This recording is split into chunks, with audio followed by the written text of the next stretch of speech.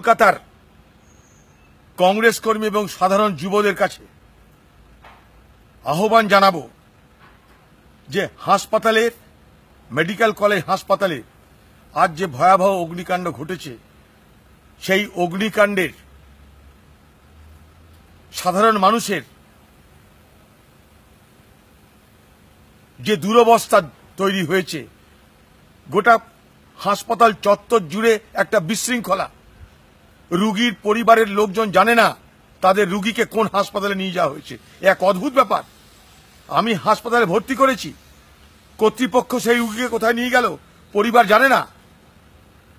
তারা এক অনিশ্চয়তার মধ্যে চলেছে, এক চরম বিশৃঙ্খলা গোটা হাসপাতাল চত্বর জুড়ে।